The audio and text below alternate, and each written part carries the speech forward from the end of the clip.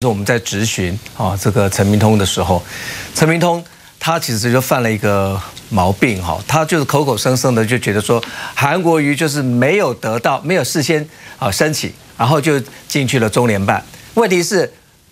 客随主便嘛，这个韩国瑜他到香港去，如果人家就是要邀请他进去喝杯咖啡，可是目前的难道就要拒绝吗澳行是不用申请的啊，对，是不用申请的完全没有问题啊。对他而且其实他们一直在讲的就是两岸人民关系条例啊，其实，在如果到港澳的话，应该是用的是香港、澳门的关系条例嘛，不是用两岸人民关系条例嘛？但是你不管是用两岸的，或者是港澳的关系条例，都没有规范到中联办的部分嘛，没有规范到这个我们的这个地方首长，如果要去中联办。该怎么办？没有啊，所以现在要想新的办法来管呢。对他就是现在要把它列入到他他要去修法，要在这个这个两岸人民关系条例里面要把它列进来，当做说将来就是地方首长还有政府官员呢，将来如果要去港澳的话，都要再申请。这样子是其实是会限制了很多城市交流的问题了。今天我有问陈明通，我说你们其实负责的两个机关在香港的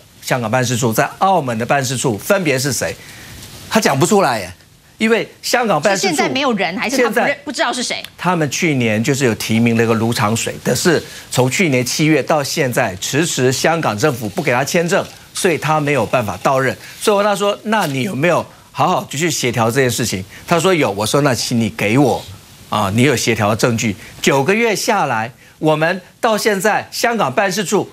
还是没有办法履行到任。好，那所以当然在现场。他没有办法帮忙，就是变成一个高明村的一个组长代理的这个处长，好，在协助处理。好，那到了澳门，好，我问说，那你们的澳门办事处处长是谁？他讲不出来，哎，陆委会下面就是两个机构哦，一个是香港，一个澳门办事处，他连他澳门办事处长主任叫什么名字，他讲不出来，后面的才有人啊、给他打 pass，说是陈雪怀，哈，陈雪怀是谁？是我们国民党陈雪生委员的弟弟。之前就是啊、我们的这总统府的副秘书长，哈，所以他其实是被派任到澳门去担任我们澳门办事处的处长。那我问他说，那这个处长有没有陪着韩国瑜进去一起看看中联办的这个这个这个人？他就说，哦，他是有去接机，但是呢，他没有陪着他进去。我说啊，那那很奇怪，那为什么不陪着进去？然后这陈明通就说，哦，是他们没有没有邀请。那我说好，那能不能请？高明村这个代理的处长跟澳门的这个陈雪怀回来，我们立法院接受咨询，告诉我们这到底怎么回事。换句话说，今天到底是你陈明通不让他要求这陈雪怀不要进这个我们中联办，好陪着韩国瑜进去，然后让他有一个借口现在回来来来处罚他，还是说其实他是可以去，但是他不敢去？到底是什么样的情况？我觉得这边真相。还有待他们两个人回来述职的时候才搞，才我们才能搞清楚。但是我要讲的就是说，其实今天这个状况是，如果说根本到目前没有一个法提到说去中联办到底该怎么办，而他现在讲到要罚钱的哈，这五十万或者是五年徒刑的，那根本就没有没有讲到中联办的部分，更不要讲说，其实当初法务部针对。这个两岸人民关系条例这三十三条之一，其实就有一个在法条上面，他有讲，他说其实这个法定的不是很好，这个法里面针对这个这些机构要去签署部分，它的这个定义非常的含混，所以会让会让人民团体无所适从。换句话说，从几年前这个法务部就有这样子的函释，到现在其实陆委会都没有提出修法，三十三条之一真的要能够拿出来用。根本就不是这么一回事哈，更不要讲说今天韩国瑜他只是去卖农产品嘛，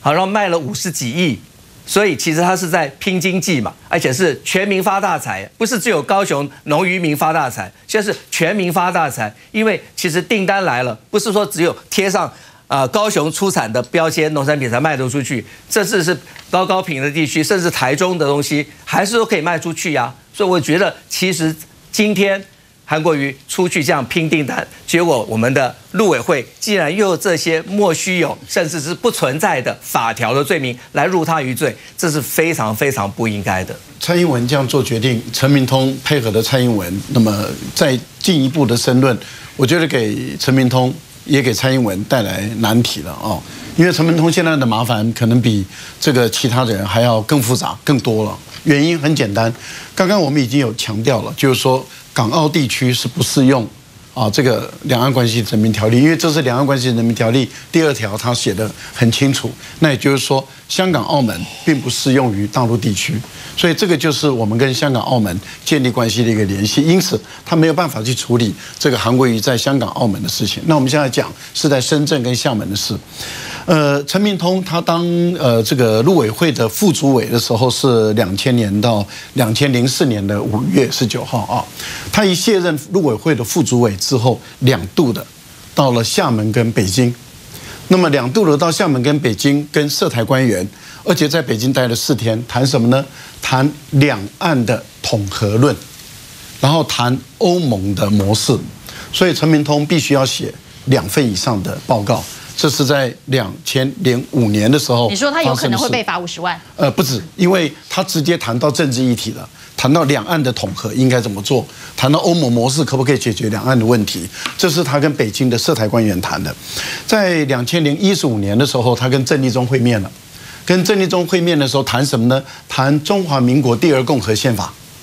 这又是很严重的政治问题喽。所以他这个报告也要写。接着，他本来要带台大的学生。那我们到北京去访问，可是因为刚好那是二零一八年要去访问，刚好那段时间他们呃大陆中央委员会召会呃开会，他们说我们现在忙得不行，所以没办法接待。那我们看到了，接着他就接了陆委会主委了。好，那我们要问的问题就在于，一个陆委会主委的陈明通，你这么多次的到大陆去，都谈政治议题，两岸统合怎么统合起来？欧盟模式可不可以解决两岸问题？中华民国宪法的第二共和怎么进入第二共和？我们该怎么解决这问题？你谈的都是敏感的政治问题，都是国家主权的问题。好，那你全部都要写报告。那我觉得，当你把报告写出来给大家看一下，你的报告是不是只四行还是五个字？而且你的报告一旦公布，你要想想一件事哦：北京有没有可能你在北京跟他们的对话的时候，他也给你公布？那这样的情形下的话，那陈明通你很有可能马上就要进进进去监牢了，因为他已经不是五十万了。可是他那时候是陈教授，他常常就否认了。他那时候是陈教授，现在是陈主委，所以叫身份不一样的时候，所讲的话就可以不一样。刚刚卸任陆委会副主委，嗯哼，三年的条款。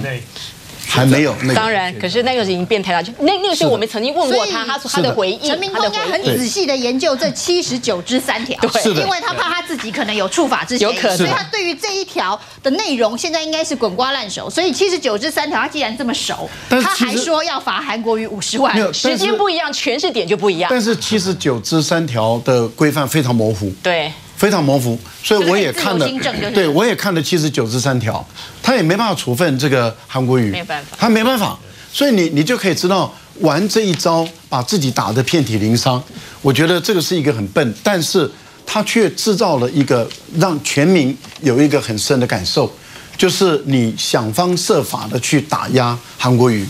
那韩国瑜为高雄市民，为高雄市的农民，那么争取这么大的订单，我们昨天已经有强调了，拿到这么多的订单，而这个订单占整个高雄的农业总产值的百分之二十四到三十左右的时候，它有利于高雄的农民，它的水果价在盛产的时候的一个调节作用。这个对于高雄的农民，对高雄市民是多么开心的事情，而你要用这种高压的方法打压他，你要去找一个无法适用的法条去欺负他，高雄人一定会受不了，高雄人一定会忍不下这口气，不止高雄人哦，屏东人也会忍不下这口气，因为屏东人也希望韩国瑜也能够帮他拼到订单，台南人也希望韩国瑜也能够帮他拼拼拼到订单。都会忍不下这口气，也就是说，一个为台湾的农民